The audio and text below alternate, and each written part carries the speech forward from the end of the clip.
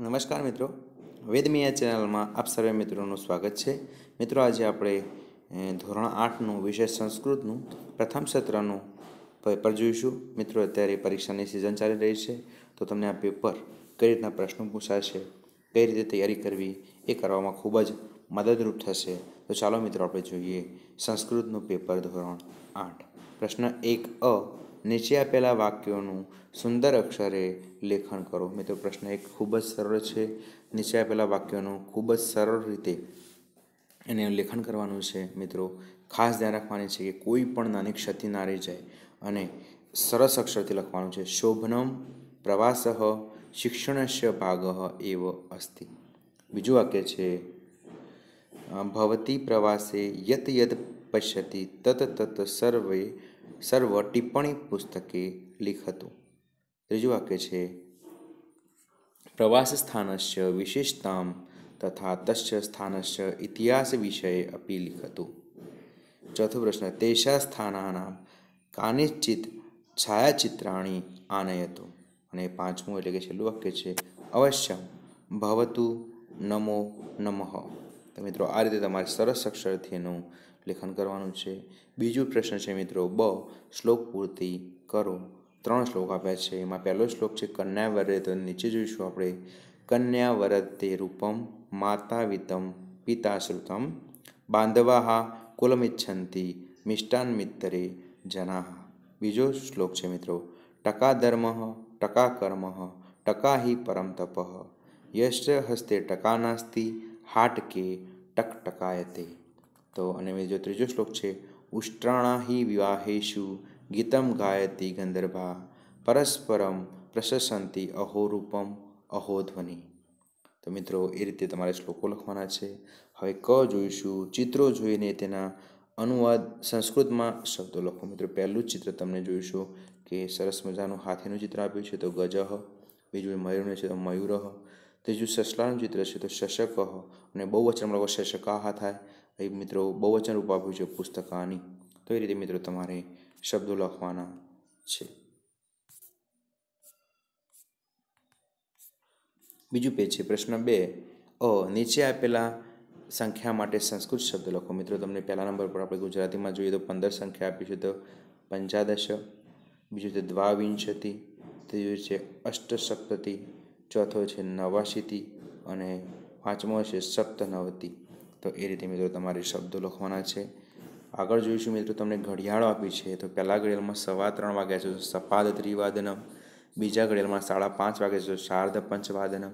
ત્રીજી ઘડિયાળમાં છ અને દસ થઈ છે. તો દશાધિક ષડવાદનમ. ચોથી ઘડિયાળમાં જોઈએ તો પોણા આઠ એટલે કે સાત અને પંચોતેર થઈ છે, તો પાદુન અષ્ટવાદનમ. અને છેલ્લી ઘડિયાળ છે એમાં દસમાં દસ બાકી છે, તો દશોન દશવાદનમ આ રીતે મિત્રો તમારે લખવાનું છે. યોગ્ય વિકલ્પ પસંદ કરી ખાલી જગ્યા પૂરો. શિલા ખાલી જગ્યા માતા, તો શિલાયામ. ખાલી જગ્યા દશમ ગ્રહ અસ્તિ તો જા માતા. રમા કાર્યાલયમ અસ્તિ તો કાર્યમ ગચ્છતી. યુવક યુવકા ક્રીડામ કુર્વંતી. અને અહમ જલમ પીબામી આ રીતે મિત્રો તમારે એનું શબ્દો લખવાના છે. આગળ જોઈશે તો નીચે આપેલા પ્રશ્નોના સંસ્કૃતમાં જવાબ આપો. એકલવ્ય કી પઠિતુમ ઈચ્છતી તો કીની જગ્યાએ ધનુર્વિદ્યા લખવાનું છે. તો એક એકલવ્ય ધનુર્વિદ્યા પઠિતુમ ઈચ્છતી તો મિત્રો ધનુર્વિદ્યા કીની જગ્યાએ લખવાનું છે. કા દુર્ભાષમ કરોતી? તો કોણ ફોન કરતું? તો સવિતા દુર્ભાષમ કરોતી. દ્રોણ એકલવ્યમ કિમ અવદત તો અહમ કૌરવાન પાંડવાન અપી. ધનુર ધનુર્દહ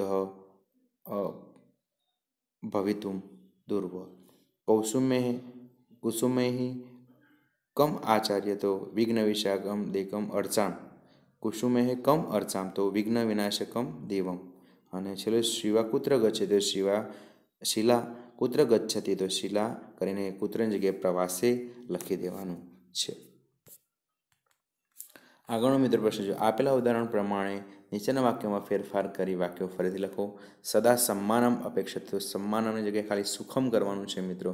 તો સદા સુખમ અપેક્ષતે, તો એ રીતે વયમ ગૃહમ ગચ્છામ, વયમ ભા વયમ, તો વયમ ગૃહમ ગૃહમ ગચ્છા છે વહ, તો વયમ મંદિરમ ગચ્છામ. બીજામાં વયમ ભાનુન અનુગચ્છામ, તો વયમ ગુરુન અનુગચ્છામ કરવાનું છે. ત્રીજું છે કર્ણશ્ય કુંડલમ અસ્તિ કર્ણશ્ય શસ્ત્રમસ્તિ લખવાનું છે કુર્યાત રાશવે આરોહણ તો કુર્યાત ગજે આરોહણ મિહિર કર્ણાવવતી ભવિત સુરતમ ગચ્છામી તો જામનગર ત્યાં લખવાનું છે મિત્રો જે શબ્દ છે એના જેવો શબ્દ ત્યાં જે કૌંસમાં આપેલો શબ્દ લખવાનો છે નીચે આપેલા વાક્યોની વાર્તાના ક્રમમાં ગોઠવવાની છે તો મિત્રો જોઈશું આપણે કે પહેલા નંબરમાં એક બાલક આશ્રિત આવશે બીજું વાક્ય છે કે, ગુરુદેવ અહમપી ધનુર્ધરમ ભવિતુમ ઈચ્છામી ત્રીજું વાક્ય આવશે, એક કુકુરતાના દષ્ટવા અવશત ચોથું વાક્ય આવશે, અર્જુન ધનુષ્ય ઉત્પા ઉત્પાપયથી સ્મ. અને પાંચમું આવશે કહ તવ આચાર્ય. હ તો એ જ રીતે મિત્રો, હવે પાંચમો પ્રશ્ન બ છે, કૌંસમાં આપેલા શબ્દોનો ઉપયોગ કરી ઉદાહરણ પ્રમાણે પ્રશ્નાર્થ વાક્ય બનાવવાનો છે. તો મિત્રો જે તમને લીટી આપી છે, એની જગ્યાએ જે કૌંસમાં શબ્દ આપ્યો છે, મૂકવાનો છે, તો છાત્રાહા પુષ્પવાટિકામ ગચ્છતી. તો છાત્રાહા પુષ્પ, એની જગ્યાએ આપણે કૂત્ર મૂકવાનું છે, તે પુષ્પ પુષ્પવાટિકાની જગ્યાએ આપણે કૂત્ર મૂકીશું છાત્રા કૂત્ર ગચ્છંતી, પાછળ પ્રશ્નાર્થ ચિહ્ન કરવું પડશે મિત્રો આપણે. બીજું શિલા અજંતાત ગુષ્ણેશ્વરમ ગચ્છતી. તો શિલા કુતઃ ગુષ્ણેશ્વરમ ગચ્છતી, એ રીતે પાછળ પ્રશ્નાર્થ ચિહ્ન કરવાનું છે. વૈદરાજ ધનાની હરતી. તો વૈજરાજા ધનાની જગ્યાએ કરીશું કી હરતી? પાછળ પ્રશ્નાચિહ્ન કરીશું. મૃણાલિની વિઘ્ન વિનાશકમ અર્ચતી. તો કા વિઘ્ન વિનાશકમ અર્ચતી? અને વેદાંતસ્ય લેખની અસ્તિ? તો કશ્ય લેખની અસ્તિ? એ રીતે તમારે મિત્રો પ્રશ્ન બનાવવાના છે. હવે છેલ્લું પેજ છે, એમાં તમે જોઈ શકો યોગ્ય જોડકા જોડો. તો પહેલું છે સત્તર, તો સપ્તદશ. બીજું છે તાણું, તો ષણવતી છન્નું છે તો ષણવતી પિસ્તાલીસ છે પંચ ચત્વારીશત એક્યાસી તો એકાશીથી અને તેત્રીસ તો તયસ્ત્રીસંત લખવાનું છે. નીચે આપેલા વાક્યનો સંસ્કૃતમાં અનુવાદ કરવાનો છે. મિત્રો, એકલવ્ય વનમાં જાય છે તો એકલવ્ય વનમ ગચ્છતી. બીજા હું બજારમાં જાઉં તો અહમ આપણને ગચ્છામી. મારું નામ શિલા છે તો મમ નામ શિલા અસ્તિ. કૂતરો બસે તો કુકુર પશતી હું પણ આવું છું તો અહમ અપી. આ ગચ્છામી એ રીતે એ વાક્યનો તમારે સંસ્કૃતમાં અનુવાદ કરવાનું છે. તમારે દિનચર્યા વિશે સંસ્કૃતમાં પાંચ વાક્ય લખો.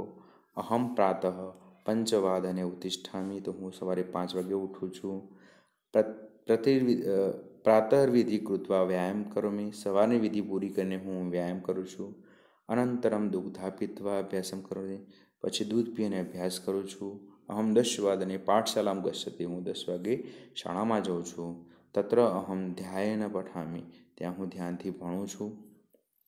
પંચવાદને અહમ વિદ્યાલય ગૃહમ ગચ્છામી પાંચ વાગે હું શાળાએથી ઘરે આવું છું. શાર્દ અષ્ટ, અષ્ટવાદને અહમ ભોજન કરોની. સાંજે સાડા આઠ વાગે ભોજન કરું છું. શાર્દ નવ વાદને અહમ નિંદ્રામી. નિંદ્રા, નિંદા કરોમી. તો હું સાડા નવ વાગે સૂઈ જાઉં છું.